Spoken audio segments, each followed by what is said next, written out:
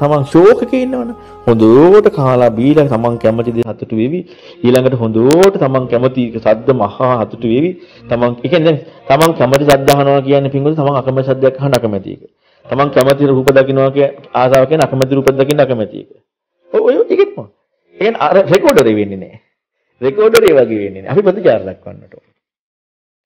එහිම නැතිව සැබෑම පැවිද්ද සැබෑම පැවිද්ද අපි ඇඟටත් සිවුර දාගෙන ඒක එකම මෙන්න මේ හික්මීමේ කටයුත්ත කරනවා නම් අන්න කාමයන් නික්මෙන විදිහට නැත්නම් විමුක්ති කාමිත්‍යයක් හුරු කරනවා.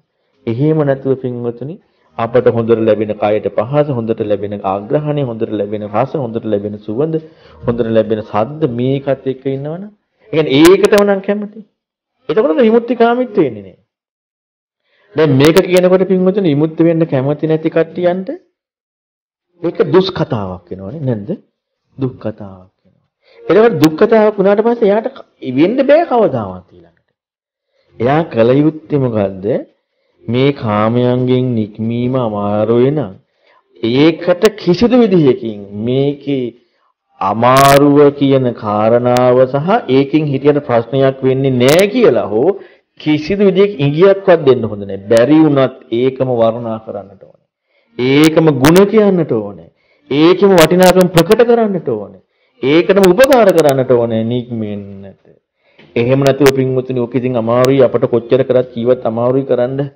ඒ ඒ ඒකේ තියෙන දුෂ්කතාවක් කියලා.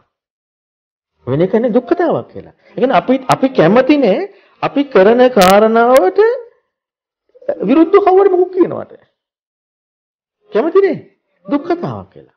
ඉතින් දුක්ඛතාවක් වුණාට පස්සේ යාට ඒක කවදාවත් කරන්නත් බෑ. ඒ නිසා අපි අපි හිතමුකෝ අපට යම් අමාරුවක් තියෙනවා කියලා. අමාරුවක් තිබ්බට මේකට අපි උපකාර කරන්න ඕනේ සව කාට හරි.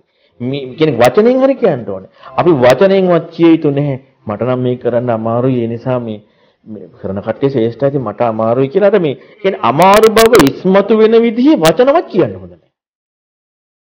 මොකද හේතුව? ඉතින් එහෙම වුණාට පස්සේ පින්වතුනි දැන් අපි හිතමු යම් කිසි කෙනෙක් වොන්න කාමයන්ගෙන් නික්මිලා හරියට ඒ විදිහට ඒ කියන්නේ ඇතුළෙන්ම මරුණා කියලා පැය දෙකකින් තුනේ.